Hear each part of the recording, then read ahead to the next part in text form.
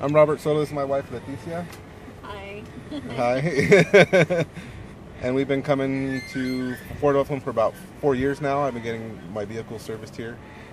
And uh, we just purchased a brand new Explorer.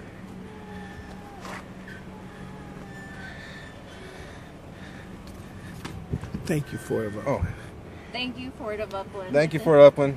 Great service. Awesome. Yes.